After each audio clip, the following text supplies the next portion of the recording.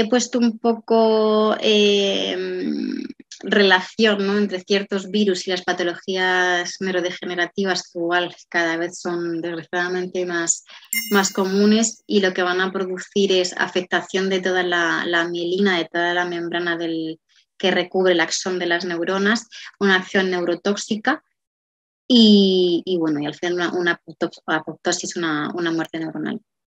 Vale, entonces eh, relación entre patologías autoinmunes y virus, bueno, los enterovirus y el, herpes con el, ELA, eh, la clamidia o el herpes simple también con el, Alzheimer, aunque el Alzheimer también tiene otras cositas que habría que tratar, y la esclerosis múltiple, y hace muy poquito ha salido un estudio bastante bueno sobre la relación con el Epstein. Eso no quiere decir que todas las personas que hayamos pasado la mononucleosis vayamos a tener esclerosis múltiple ¿vale? Pero sí que suele haber relación porque este virus ataca muchísimo, produce mucha inflamación, mucho agotamiento, pero ataca muchísimo al, sistema nervioso.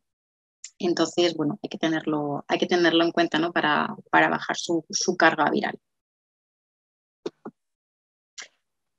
Vale, hemos hablado antes un poquito del, gluten y he puesto esta diapositiva porque mm, quería comentar eh, la relación bastante común que hay entre patologías de, tiroiditis autoinmune del, Hashimoto con intolerancias al gluten. Eh, es cierto que hay veces que las tiroiditis de Hashimoto y autoinmunes pueden ser por infecciones, no es tan común, pero no obstante, repito, cuando hay varias patologías autoinmunes es porque hay virus seguro sí o sí, porque hay una alteración de la microbiota sí o sí, al final cuando se está sobre reaccionando, sobreexcitando ese sistema inmune, empiezas por una patología autoinmune y vas pasando un poco de, una a otra, ¿no? Es, es raro que alguien tenga solo una patología autoinmune y que el resto de los tejidos no, no se vean afectados. Eso es bastante poco común. Sí que se ha relacionado la infección con Staphylococcus o Streptococcus o algunos gran negativos eh, o el enterovirus con la tiroiditis, pero como os decía, hay muchísima relación entre enfermedad celíaca y, tiroiditis, y Hashimoto, ¿vale?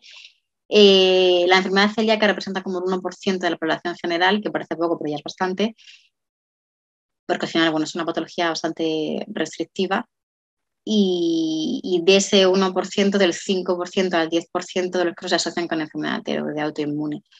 Normalmente suele ser más la tiroidea autoinmune eh, y que luego deriven en, celiaquía, pero bueno, es cierto que antes hemos visto la, relación ¿no? de, de, proteínas. La proteína del gluten también se parece muchísimo a una proteína que hay en la glándula tiroidea y igual, si tú tienes una intolerancia al gluten, el sistema inmune va a atacar a esa proteína del, las proteínas y las gliadinas, esas proteínas principales del, gluten, y como se parecen a las que hay en la glándula tiroidea, también van a producir un ataque en la, en la tiroides. Yo, voy a decir casi siempre, no, siempre, cuando hay un Hashimoto se les manda una, una analítica para ver también si tienen anticuerpos antiendomiciales para ver si si, mm, si tiene intolerancia al gluten y al revés también, ¿vale? Pero cuando hay anticuerpos antitiroideos siempre miro a ver si también hay, hay anticuerpos para, para celiaquía. Y aunque no salgan, aunque salgan negativos y, y, no le podemos diagnosticar de celiaquía, cuanto menos gluten hay mejor.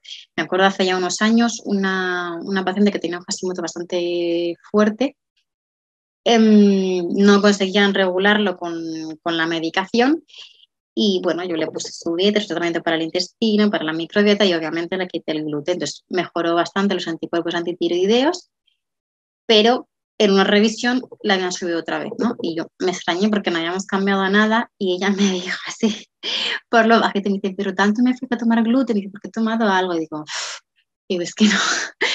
Entonces, bueno, yo le dije, digo, mira, tienes que aceptarlo, digo, eso es lo que hay y, aunque no te podamos diagnosticar de celiaquía, estás viendo que si tomas gluten, te suben los anticuerpos de la tiroides. Entonces, al final hay que tomárselo en serio, ¿no? Porque no estamos hablando solo de que me apetezca comer una cosa u otra, sino de que, es que nos estamos destruyendo un poco a, nosotros mismos. Pues hay que, hay que tomárselo en serio, no hay que tomárselo como, ay, hago una dieta y me pasa la diarrea. No, Al final es que nos estamos cargando nuestras propias células y, aunque sea complicado llevar ciertos tipos de estilos eh, de vida nutricionales, eh, es lo que hay. no, hay más. Hay que, hay que entenderlo y cuando se entiende al final es más fácil, es más fácil llevarlo a cabo. Vale, hemos visto un poco la, teoría, ahora vamos a hablar del, sistema inmune y después vamos a ver un poquito la práctica. Em, bien, he comentado desde el principio el cómo afecta de manera resumida el, aumento de la permeabilidad intestinal al padecimiento de cualquier patología inmunitaria. Aquí lo veis mejor y luego también hay, otros esquemas, ¿vale? A nivel visual. Cuando tenemos el intestino sano, la, mucosa de ese, intestino no está dañada, está intacta, entonces va a evitar la entrada de cualquier tipo de antígeno mm, alimentario, la entrada de, virus, de bacterias, de cándidas, etcétera, etcétera, de residuos de la digestión, de residuos del metabolismo.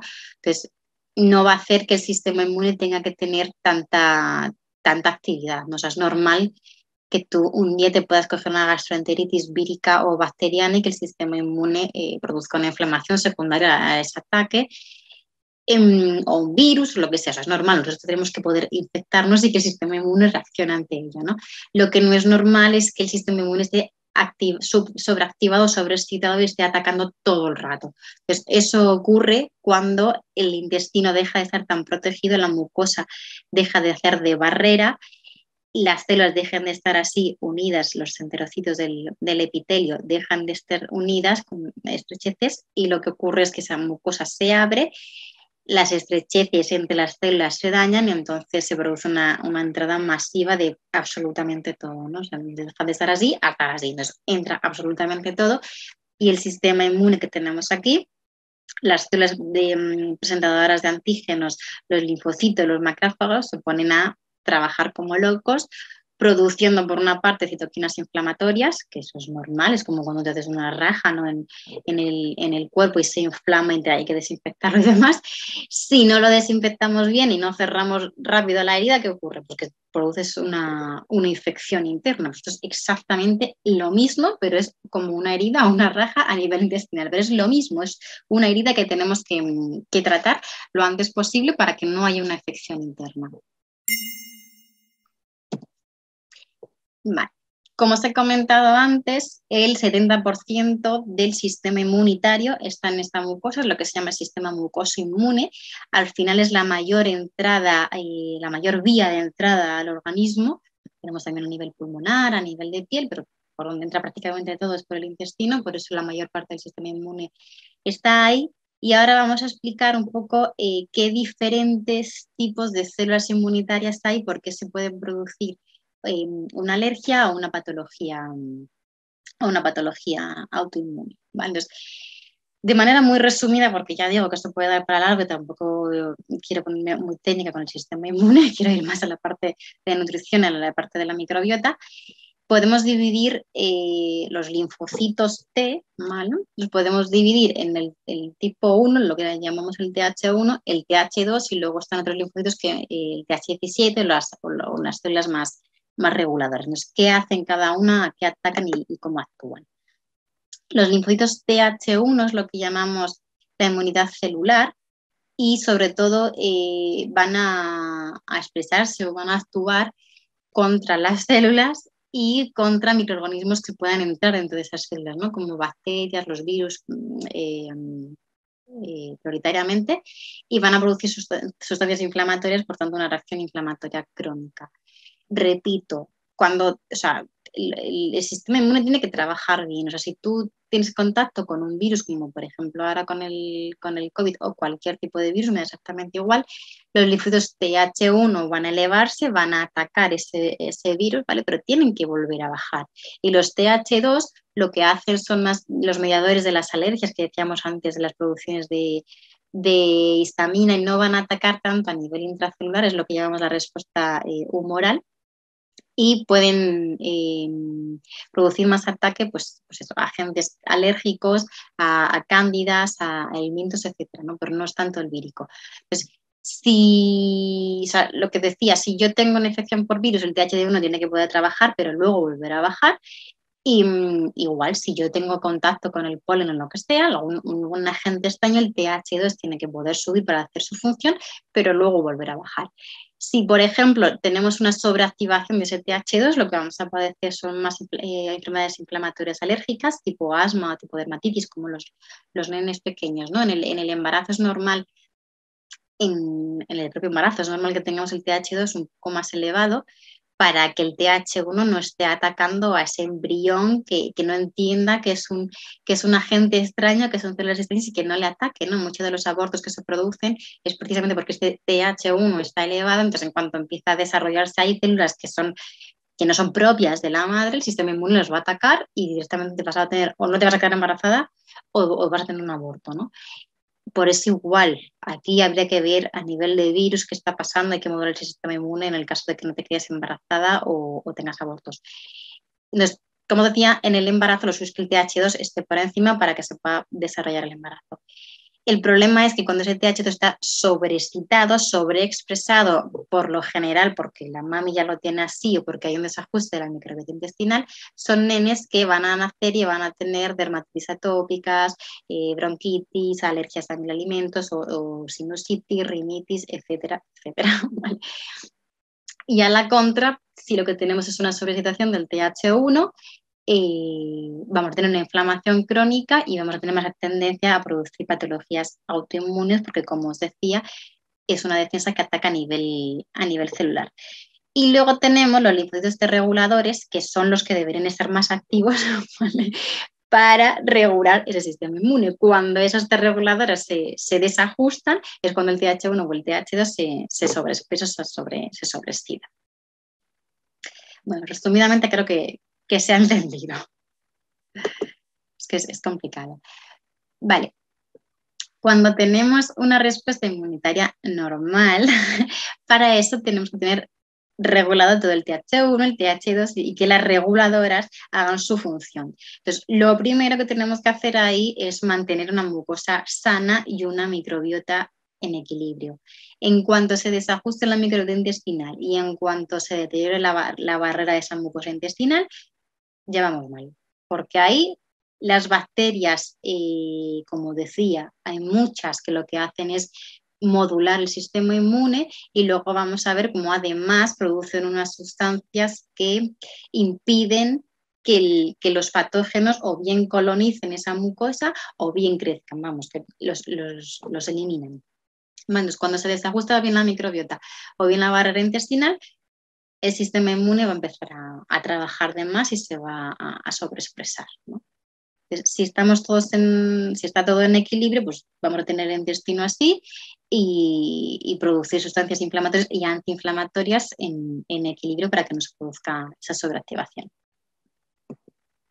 Sin embargo, cuando eh, por parte de determinados, factores como una alimentación inadecuada, ahora vamos a ver bien por qué se produce un desajuste de la microbiota, una alimentación inadecuada o tóxicos o incluso el sedentarismo, medicamentos, hay muchos factores, alteran esa microbiota intestinal y alteran, por tanto, la inflamación, la función de, de, barrera, se va a producir lo primero, una inflamación a nivel intestinal. No tenemos por qué, esto lo quiero dejar claro, no tenemos por qué tener síntomas digestivos para tener una afectación de la mucosa. O tú puedes tener una autoinmune que siempre va a tener una alteración de la mucosa intestinal, siempre, e, y sin embargo a nivel digestivo, tener buenas digestiones, no tener ni gases, ni hinchazón, un tránsito intestinal correcto, etc. Entonces no tenemos por qué tener eh, síntomas digestivos siempre.